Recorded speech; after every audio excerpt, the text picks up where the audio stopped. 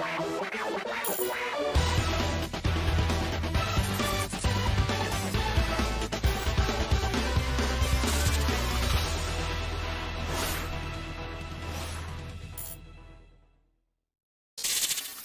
Hello everyone, how are you doing? This is MD Tech here with another quick tutorial. Today I'm going to show you guys how to resolve a Windows 10 black screen or blank screen you're receiving when you are into the Windows operating system. So you might typically receive this after you've already signed into your account and then once you've logged in, instead of seeing your typical desktop and your desktop icons, you are instead greeted with a blank or a black screen, whichever you prefer to describe the situation. I did make a video of this a couple years ago, and I didn't actually do voice narration over it. I did a few videos in a series that I just kind of made a video and, and showed steps on the screen, and the video has since garnered a lot of attention, and I wanted to make an update video for that just to allow people if they would rather hear somebody describe the fix because the fix still works now in 2017 as much as it did a couple years ago. But I thought I would just do the courteous thing and create an update video just so anybody maybe didn't see the previous one and wants to see it how to do it now. So we're going to jump right into it. So we are in the position that obviously you can see I, my cursor is on the screen but there is nothing else that appears on here so the first thing you want to do is tap on the Control Alt Delete keys at the same time on your keyboard. So just quickly tap, so using one hand hit the Control Alt and then the other hand use to tap the delete key. You want to do this all at the same time. So Control Alt Delete.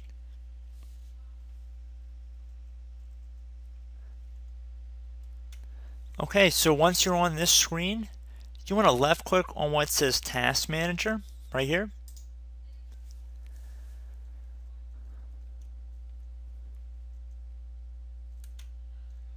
You should see a list of processes here.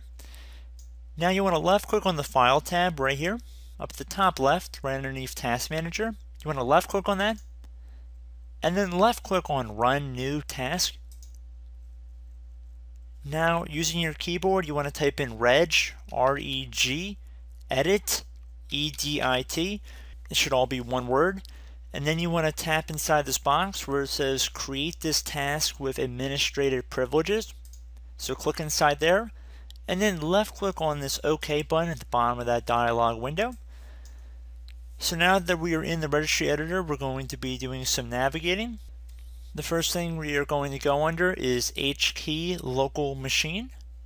You're going to left click on the little arrow next to it or double click on the folder. It doesn't really matter. All you want to do is get the drop down to appear underneath. And then once you've done that, you want to do the same thing that you did to get underneath HKey local machine for the software folder. I'm going to expand that one as well. And I'm also going to expand the view of this column over a little bit so I can see where we're working a little bit better. And now you want to go down to where it says Microsoft. Expand that one as well. And then once you've done that, you want to go down to Windows NT should be near the bottom of the list, right here. Expand that one as well. And then you want to expand the current version folder right underneath. Should only be one folder, more than likely underneath Windows NT. So you want to expand that. And then once you have done that, I'm going to actually expand the column a little bit more here so I can see a little bit better. And I'm going to go down to Win Logon. Should be one word. Win Logon right here. And now I'm going to left click on the Win Logon folder. Once you have found this folder, left click on it once. And then on the right side here, there should be something that says shell right here. You can see that. You don't even have to really scroll down, but you can if you want to. It should read shell. You want to double click on this.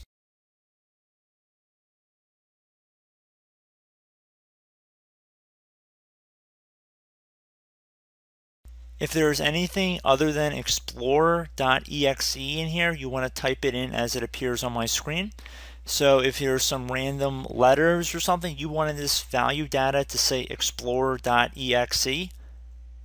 So for example, if it says something like this, You want to delete that, type explore, E X P L O R E R dot just like you would spell Internet Explorer, except without the internet part, of course. And then once you're done doing that, you're going to click on OK to save our changes. And now I would recommend closing out of the registry editor. And I'm going to close out of Task Manager as well. And now you want to tap on the Control Alt Delete keys on your keyboard once again. And now once you're back at the screen, you want to go to the bottom right corner of it. Should be a power icon. And when you hover over it, it should say shut down. You want to left click on this button and then you want to left click on restart. Now it appears I do have some updates, so this might take an additional moment to restart.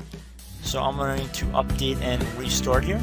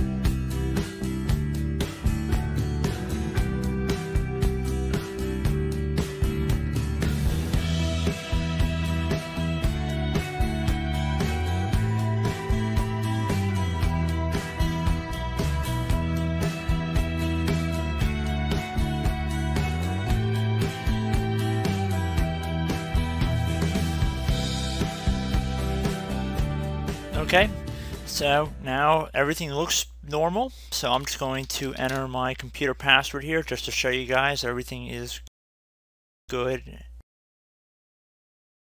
And there we go. We can see we got access to our desktop once again and everything looks to be as it should. So I should note a couple things. Number one, this is not going to work for everybody. Um, based on my previous video's reception, I would assume that it will work for most people. However, that's not to say it's going to work for every single person on this video, which is unfortunate, but that's just a fact of life. Some people's situations are a little bit different, as well as some people might not follow all the directions in the video exactly how they appear. I notice that happens very frequently as well, so you can't really blame me for that second and later part. But I do hope this tutorial helped you guys out. I showed the whole video. I didn't really try and edit out a lot of parts of it because I want people to understand that it does take time and you have to be patient. I'm sure many of you just jumped forward to this part of the video, which is fine, but I do like to show you guys how long it takes to fix these issues. They don't just magically get resolved in 30 seconds. I just was responding to comments today talking about how they were running system restore and they've only been running it for 10 minutes. They want to know why it's taking so long. And that's the kind of attitude that I think is really wrong going into a problem like this. Um, there are quick fixes and there are fixes that take a little bit of time and this is probably one of those.